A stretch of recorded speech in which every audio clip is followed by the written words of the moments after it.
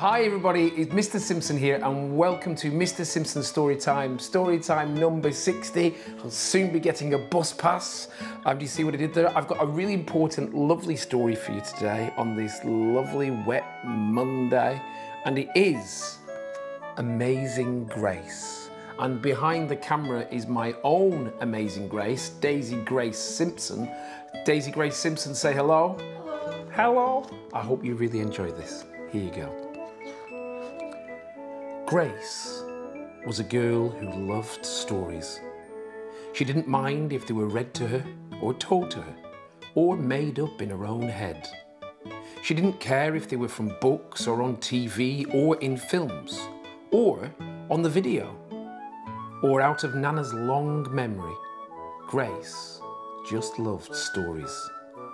And after she had heard them, or sometimes while they were still going on, Grace would act them out and she always gave herself the most exciting part. Grace went into battle as Joan of Arc and wove a wicked web as Anansi, the Spider-Man. She hid inside the wooden horse at the gates of Troy. She crossed the Alps with Hannibal and a hundred elephants. She sailed the seven seas with a peg leg and a parrot. She was Hiawatha, sitting by the shining big sea water, and Mowgli in the back garden jungle.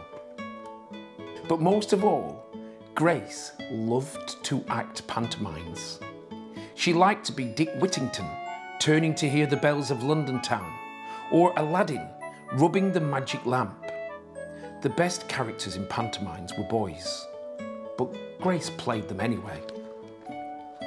When there was no one else around, Grace played all the parts herself. She was a cast of thousands. Paw Paw the cat usually helped out. And sometimes she could persuade Ma and Nana to join in when they weren't too busy. Then she was Dr. Grace, and their lives were in her hands. One day at school, her teacher said they were going to do the play of Peter Pan. Grace put her hand up to be Peter Pan. You can't be called Peter, said Raj. That's a boy's name. But Grace kept her hand up. You can't be Peter Pan, whispered Natalie. He wasn't black. But Grace kept her hand up. All right, said the teacher. Lots of you want to be Peter Pan. So we'll have to have auditions. We'll choose the parts next Monday. When Grace got home, she seemed rather sad. What's the matter? asked Ma. Raj said I couldn't be Peter Pan because I'm a girl. That just shows all Raj knows about it, said Ma. Peter Pan is always a girl. Grace cheered up. Then later she remembered something else. Natalie says I can't be Peter because I'm black, she said. Ma started to get angry, but Nana stopped her. It seems that Natalie is another one who don't know nothing, she said. You can be anything you want, Grace, if you put your mind to it. Next day was Saturday, and Nana told Grace they were going out. In the afternoon, they caught a bus and train into town. Nana took Grace to a grand theatre.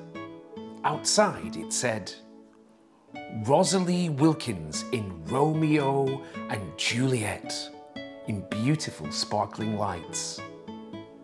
Are we going to the ballet, Nana? asked Grace. We are, honey, but I want you to look at these pictures first. Nana showed Grace some pictures of a beautiful young dancer in a tutu. Stunning new Juliet, it said on one of them. That is one of little Rosalie from back home in Trinidad, said Nana. Her granny and me, we grew up together on the island. She's always asking me, do I want tickets to see her little girl dance? This time, I said yes. After the ballet, Grace played the part of Juliet. dancing around her room in her imaginary tutu. I can be anything I want, she thought. I can even be Peter Pan. On Monday, they had the auditions. Their teacher let the class vote on the parts. Raj was chosen to play Captain Hook. Natalie was going to be Wendy. Then they had to choose Peter Pan. Grace knew exactly what to do and all the words to say. It was a part she had often played at home. All the children voted for her. You were great, said Natalie. The play was a great success, and Grace was an amazing Peter Pan.